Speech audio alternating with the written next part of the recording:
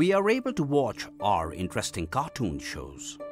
And we are able to know so many things about our own planet Earth, or so much about the outer world. Do you ever wonder how all of this is possible? All these are possible due to something called a satellite, which is launched into space and moves around our own Earth or another body in space. Man made machines in space are called artificial satellites. There are also natural satellites. The Moon is a natural satellite since it moves around the Earth. All the planets in our solar system are natural satellites since they move around the Sun. Thousands of artificial or man made satellites orbit Earth. So, what is a satellite? As mentioned before, a satellite is any object or body which moves around another body in space. The Sputnik 1 spacecraft was the first ever artificial satellite when it was launched into space on 4th October 1957. Satellites come in many shapes and sizes, but most have at least two parts in common an antenna and a power source. The antenna sends and receives information to and from Earth. The power source can be a solar panel or battery. Solar panels make power by turning sunlight into electricity. Many satellites carry cameras and scientific sensors. Sometimes these instruments point towards Earth to gather information about its land, air, and water.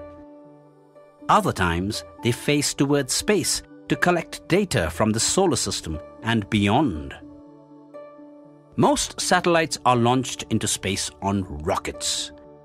A satellite orbits Earth when its speed is balanced by the pull of Earth's gravity.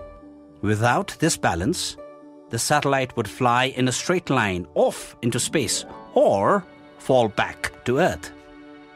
Satellites orbit Earth at different heights, different speeds, and along different paths. The three most common types of orbit are geostationary, polar, and low Earth orbit. A geostationary satellite travels from west to east over the equator. It moves in the same direction and at the same rate that the Earth is spinning. From Earth, a geostationary satellite looks like it is standing still since it is always above the same location. Polar orbiting satellites travel in a north south direction from pole to pole. As Earth spins underneath, these satellites can scan the entire globe, one strip at a time. Low Earth orbit satellites are located at an altitude of 2000 kilometers or less from the Earth's surface. The advantage of the low Earth orbit is that it requires less energy to place a satellite in that orbit and it provides better communications. This makes the low Earth orbit attractive for exploring more opportunities for satellite communication. We are able to watch interesting TV programs and many more, all thanks to satellites. These are called communication satellites, which are also called geostationary satellites. Satellites help us to study activities and know more about space beyond the Earth. They are used for sighting distant galaxies and understanding solar events. These are astronomical satellites which are observational in nature. Say if you were lost or going for a hike. With the help of GPS on your phone, you can track and monitor your route. Now, these satellites are navigational satellites which are useful in our travel and transportation on land, water, and air. Satellites looking towards Earth provide information about clouds, oceans, land, and ice and satellites monitor wildfires, volcanoes, and their smoke.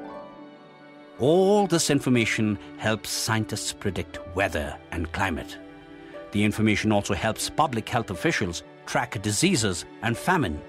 It helps farmers know what crops to plant, and it helps emergency workers respond to natural disasters. So, knowing now that satellites perform so many important functions, can you imagine how inconvenient our lives would be if there were no satellites?